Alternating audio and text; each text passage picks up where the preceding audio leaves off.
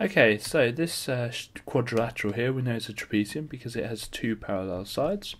And the thing about a trapezium is uh, it has basically, it's like a rectangle with two bases. Now the height is the thing that connects both of the uh, bases, which are the parallel lines, at 90 degrees, which is this 2.3 here. So that's our height here. And the two bases are basically the lengths of the parallel sides. So 7.6 and 5.4.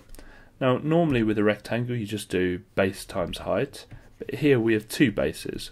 So what we need to do is work out the average of the bases. And we do that by adding them together and halving it, just like the mean average. So we're going to do 5.4 plus 7.6, and we're going to just divide it by 2 or times it by a half, it means the same thing. Then we're going to times it by the height. So I'm going to get my calculator, I'm going to do 0.5 brackets 5.4 plus 7.6 close brackets times 2.3 and I get the answer of 14.95. Now once it's two decimal places which it already is so I just leave it at that.